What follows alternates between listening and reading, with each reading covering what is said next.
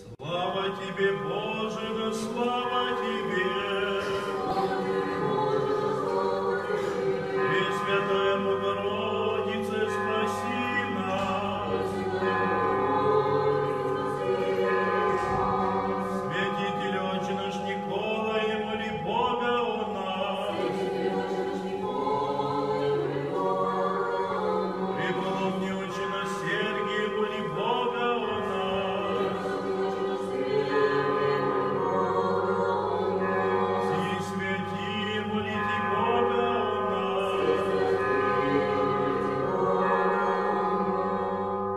Во имя Отца и Сына и Святого Духа. Аминь.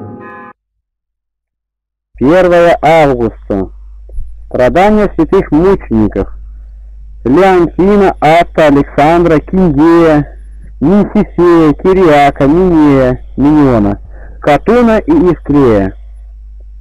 Эти святые мученики жили в царствовании императора Диоклетиана в памфилийском городе Пергии, то время, когда Памфилией управлял Гемон Флавиан, и все происходили от христианских предков. Миньон по ремеслу был плотник, а прочие занимались земледелием. Все они, имея одно и то же настроение, приняли одно благое решение и предназначили себя мученическому подвигу. Поэтому, оставив свои житейские занятия, они ночью пришли в храм Артемиды и разрушили в нем все предметы почитания.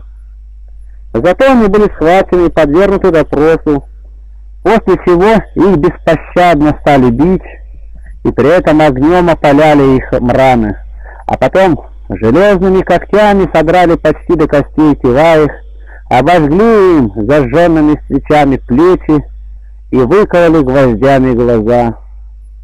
После всех этих мучений они были брошены в темницу, где по повелению мучителя им не давали ни пищи, ни воды.